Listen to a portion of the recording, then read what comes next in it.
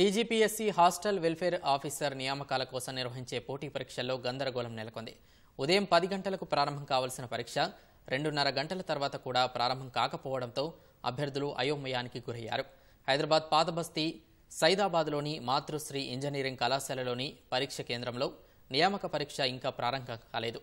దూర ప్రాంతాల నుంచి వచ్చిన అభ్యర్థుల తల్లిదండ్రులు బంధువులు పరీక్షా కేంద్రం వెలుపల ఆందోళన చేపట్టారు. వీరికి మద్దతుగా భాజపా యువ మోర్చా నాయకులు ధర్నా చేశారు.